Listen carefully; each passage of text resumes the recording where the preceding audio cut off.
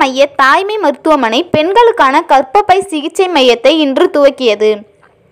கோவை மேட்டுப்பாளையம் சாலையில் உள்ள மகளிர் மையத்தின் தாய்மை மருத்துவமனையில் கர்ப்பப்பை பிரச்சனைகளுக்குரிய தீர்வு காண்பதற்கென்றே பிரத்யேகமாக பன்னோக்கு கிளினிக்கை துவக்கியுள்ளது. இது குறித்து மகளிர் மைய தாய்மை கிளினிக் இயக்குனர் டாக்டர் மிருதுபாஷினி கூறுகையில் கர்ப்பப்பை பிரச்சனைகளுக்கான அறிகுறிகள் மற்றும் அதற்கான வேளாண்மை முறைக்கு பெரும் இடைவெளி உள்ளது. பெண்கள் பெரும்பாலும் ஒழுங்கற்ற மாதவிடாய் கால அளவு உடல் பருமன் இளம் பெண்களுக்கு தேவையற்ற முறையில் முடி வளர்தல் சர்க்கரை நோய் குழந்தை பேரின்மை மாதவிடாய் காலத்தில் அதிக உதிரப்போக்கு சினைப்பை நீர்க்கட்டிகள் மற்றும் இருதய நோய் ஏற்படுகிறது. இத்தகைய சூழலில் அறிகுறிகள் வாயிலாக மூல காரணங்களை கண்டறிந்து சிகிச்சை பெற வேண்டும். பல சமயங்களில் இந்த பிரச்சனைகளுக்கு தீர்வாக அறுவை சிகிச்சை மேற்கொள்வது மேலும் பிரச்சனையை உருவாக்கும் நோக்கில் புரிந்து கொண்டு வாழ்க்கை முறையில் சில மாற்றங்களை செய்தாலே பிரச்சனைகளை தீர்க்க முடியும். இதற்கான வழிகாட்டுதலை எங்களது மகளிர் மருத்துவமனை மேற்கொள்கிறது. நாளமில்லா சுரப்பிகளில் ஏற்படும் பிரச்சனைகளுக்கு தீர்வு காண அதிக தரம் வாய்ந்த ஒருங்கிணைந்த பன்னோக்கு மருத்துவ சேவை மையம் செயல்பட்டு வருகிறது. இந்த மையம் பெண்களின் அனைத்து உடல்நல பிரச்சனைகளுக்கும் ஒரே இடத்தில் இங்கு சிகிச்சை அளிக்கப்படுகிறது என்றார். மகளிர் மைய தாய்மை கிளினிக் கற்பப்பை பிரச்சனைகள் ஆலோசகர் டாக்டர் சிவன்யா வெங்கட் கூறுகையில் பெண்களின் உடல் நலம் பேணுவதில் உயர்தர சேவையை மேற்கொண்டு வருகிறது. இந்த மகளிர் மையம் இந்த பன்னோக்கு சிகிச்சை மையத்தில் பெண்களுக்கான சரியான தகவல்கள் மற்றும் வழிகாட்டுதல்கள் தரப்படுகின்றன. ஒவ்வொரு பெண்களுக்கும் தனிப்பட்ட முறையிலான சிகிச்சை முறை அறிகுறிகளின் அடிப்படையில் கண்டறிந்து சிகிச்சை தரப்படுகிறது. பெண்களின் வயது அவர்களுக்கு ஏற்பட்டுள்ள பாதிப்பு வாழ்வியல் முறை மேலாண்மை அடிப்படையில் சிகிச்சையும் ஆலோசனையும் வழங்கப்படுகிறது என்றார். விமன் சென்டர் ஹாஸ்பிட்டலில் இன்றைக்கி ஒரு முக்கியமான நாள்.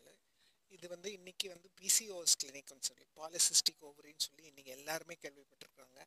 நிறைய இடங்கள்ல எங்கே பேச போனாலும் அதை பற்றி தான் கேள்விகள் வருது. அதை பற்றி ஒரு கிளினிக் ஒன்று ஆரம்பிக்கிறோம். ஸ்பெஷல் அதுக்காக வேண்டி ஒரு கிளினிக் ஏன்னா இது எல்லா வயசுலேயும் வரக்கூடிய ஒரு ப்ராப்ளம் ரொம்ப முக்கியமான ஒரு ப்ராப்ளம் ஒரு நாளில் க்யூர் பண்ணுற ப்ராப்ளம் இல்லை.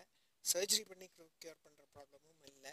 அதனால் அது எப்படி உழைப்பை அதிகரித்தல் தொழில்நுட்பத்தின் வரம்பு எல்லைகளை அதிகரித்தல் மனிதகுல மேன்மைக்கு பேருதவியாக இருக்கும் என பாஸ்கல் பினட் தெரிவித்தார்.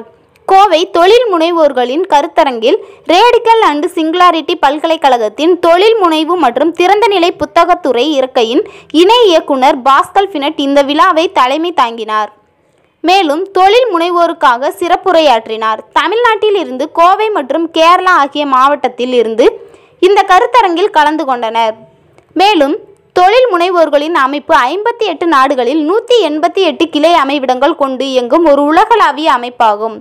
தொழில் வளர்ச்சி தனிப்பட்ட முன்னேற்றம் மற்றும் சமூக ஈடுபாடு ஆகியவை மீது சிறப்பு கவனம் செலுத்தும் ஒரே மாதிரியான சின்னங்களை கொண்ட தொழில் முனைவோர்களின் குழுவாக இந்த அமைப்பு இயங்குகிறது. மேலும் கோயம்புத்தூர் என்பது தெற்காசிய பிராந்தியத்தின் ஒரு அங்கமாக ஜவுளி உற்பத்தி ரீட்டைல் ஆடைகள் தயாரிப்பு ஆவணங்கள் தகவல் தொழில்நுட்பம் ரியல் எஸ்டேட் சொத்து மேம்பாடு உடல் நலம் பராமரிப்பு கல்வி போன்ற பல்வேறு சேர்ந்த எழுபது உறுப்பினர்களை இந்த நிறுவனம் கொண்டிருக்கிறது. மேலும் தொழில் முனைவோர்களிடமிருந்து கற்றல் குடும்ப பிசினஸ் மற்றும் வாரிசுகளை உருவாக்குதல் வளர்ச்சியாக அவசர பிரச்சனைகளை நிர்வாகித்தல் மற்றும் சிறப்பாக பயன்படுத்துதல் பிஸ்னஸ் படைப்பாக திறன் என பல்வேறு தலைப்புகளில் தொழில் முனைவோர்களுக்கான அதிகம் பயனளிக்கக்கூடிய விஷயங்களின் மீதான ஆலோசனைகளும் கற்றல் அம்சங்களையும் இந்த சிறப்பு பேச்சாளர் பாஸ்கட் பினிட் தெரிவித்தார்.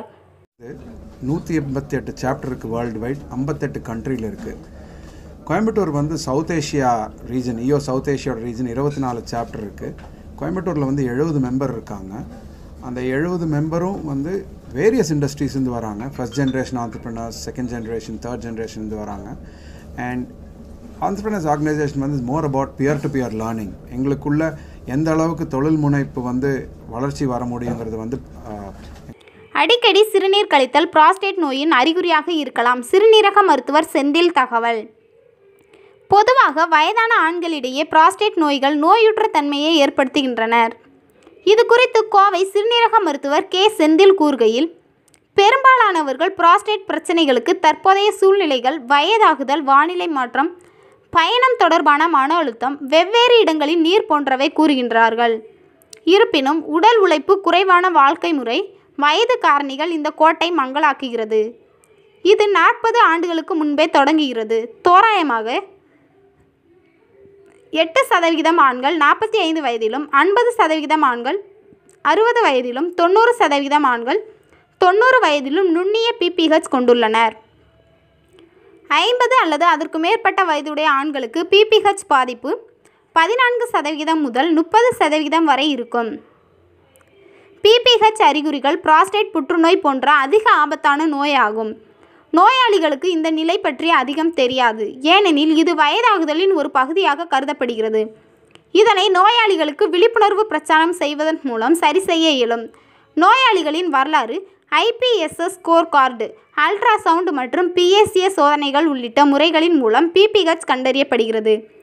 ப்ராஸ்டேட் சுகாதார மாதம் செப்டம்பர் மாதத்தில் அனுசரிக்கப்படுகிறது.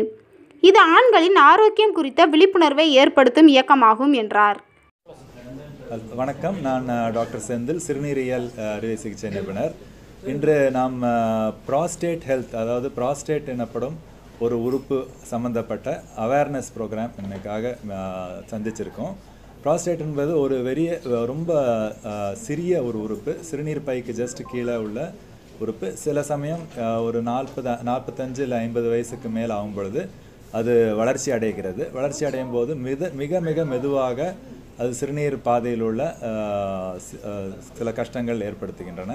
அதனை ஆரம்ப நிலையிலேயே அதை கண்டுபிடித்து அதனை எப்படி